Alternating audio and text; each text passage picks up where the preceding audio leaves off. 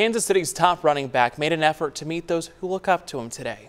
Despite the parade shooting, Isiah Pacheco went to the Northland for a meet and greet at Dick's Sporting Goods. KSHB 41's Megan Abundis spoke with fans about what the appearance meant to them. Before dawn, when the wind chill was in the single digits, Chiefs fans claimed a spot outside to say something special to their role model. It's a very big thank you.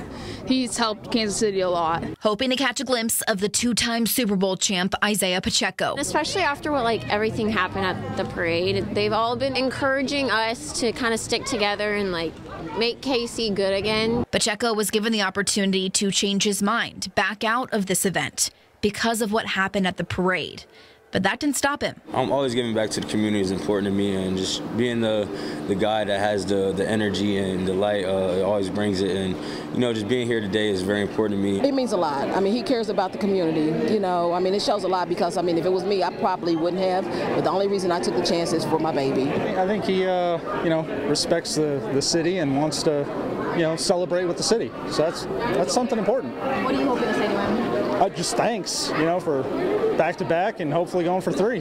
We wanted to see a superstar.